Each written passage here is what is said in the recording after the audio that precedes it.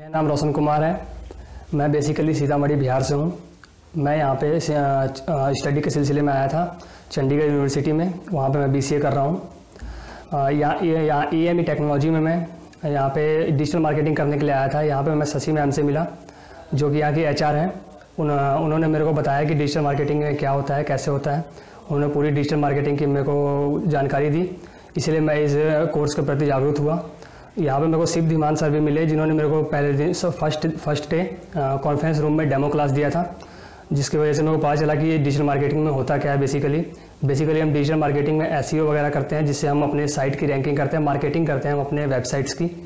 और, यहाँ यहाँ पे धीमान सर हमें स्टडी टीच करते हैं, जो कि बहुत ही अच्छे सर हैं, बहुत ही रिस्पेक्टेड सर हैं और वो वेल क्वालिफाइड हैं। उन वो खुद अच्छे अच्छे प्रोजेक्ट पे काम कर रहे हैं।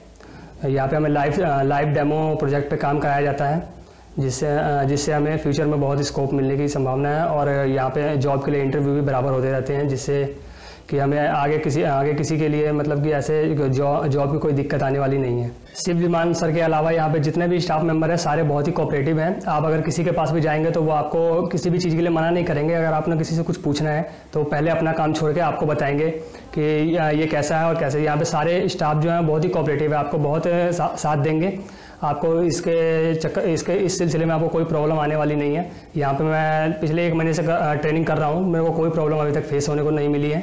मैं यहाँ पे डिजिटल मार्केटिंग कोर्स कर रहा हूँ और मैं अपने सभी दोस्तों को ज़रूर सलाह दूँगा कि आप यहाँ पे आके डिजिटल मार्केटिंग का कोर्स करें क्योंकि ये बहुत ही अच्छा एक इंस्टीट्यूट है जो डिजिटल मार्केटिंग में आप इसकी रेटिंग भी देख सकते हैं ऑनलाइन क्योंकि अगर आप कहीं डिजिटल मार्केटिंग करने जाते हैं तो आपको ये पता होना चाहिए कि वो कंपनी किस, किस तरह अपना डिजिटल मार्केटिंग कर रही है।